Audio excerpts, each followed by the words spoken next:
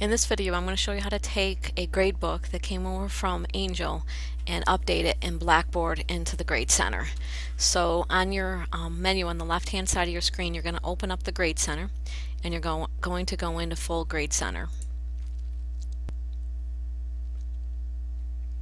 Now when the Grade Center was set up from your Angel um, gradebook you will see that first they have an overall score here and then um, that's automatically created. And then in this case I had three categories within my course. And then um, it has a weighted column for all the rest of the information that came over from Angel. And you'll see that I have a set of trainings I have some projects and then I also have discussions in here. Now, if your information was brought over from Angel and you did not put in a score, then you will not see that item um, in your gradebook. You actually have to go into the test or the discussion and set up a certain number of points for each one of them for them to show up in your gradebook. Now, if this was all set up coming over from Angel, it should be in here.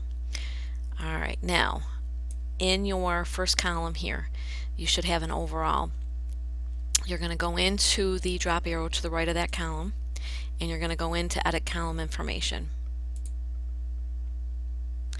Now, if you had already set up categories in Angel, you will see that they already have the categories over on the right hand side.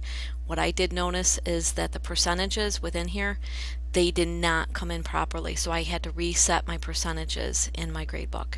Okay, so once I do that, I also want to put in um, if you say yes to a um, calculate as a running total, this will leave the columns blank until you actually put grades in. If you say no, it will actually put zeros into the columns as soon as the first grade is put in and the rest of the columns will go to zeros. So you want to make sure you set that to, to yes. That's kind of like the show zeros on as a default in Angel. Alright, I do want to make sure that this is showing up in my gradebook and um, I want students to be able to see it. Okay, and at this point I don't want to show the statistics. Now, if you want to, you can go in and change this to a di different name. You could put an overall grade, overall overall title, um, total, depending on what you have for your gradebook, whether it's points or a percentage. And then submit that.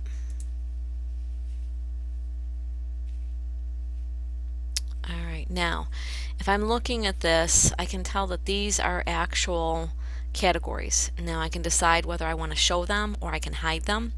Um, I can rearrange them like you could, could do in Angel as well.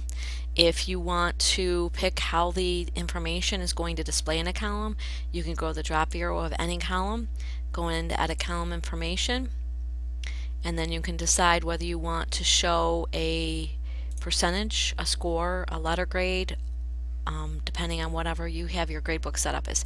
If you basically are setting up your gradebook as points based, you want to show score. If you want it to actually take, um, let's say you have 50 points for a quiz and they get all 50 points, it would show a percentage of 100, but it would show a score of 50. So you get to decide what you want to use in that. And you'll see that they have an angel letter grade on mine. If you set up your scale in Angel, it brought that scale over and it would show them the letter grade. Okay, so you get to choose that. And a little bit further down, you have an option of deciding whether you want to show the highest grades or the lowest grades. I would do this after the semester is just about ended. Do not do it at the beginning of the semester. Okay, and then again, you want to do your calculate as a running total. You want to have that as yes, so it doesn't put zeros in um, as soon as you put in the first grade. And then I'm going to submit that.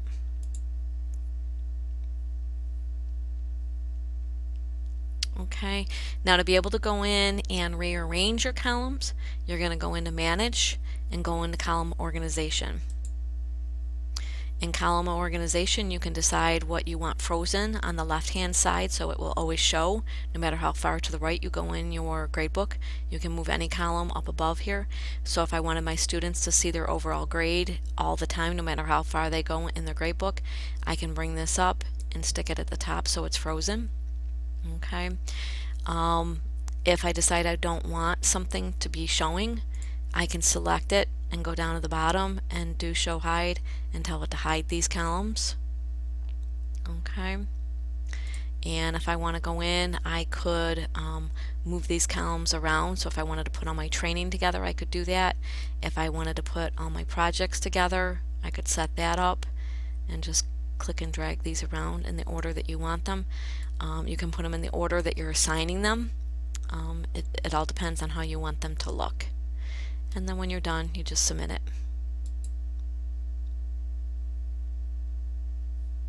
Okay.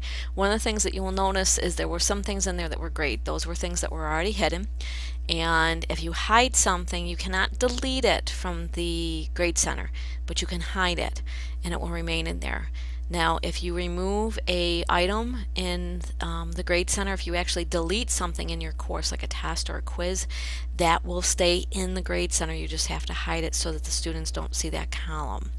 Okay, so those are the main things that you need to be concerned with if you're taking a grade book from Angel and you're going to customize it so it works in Blackboard.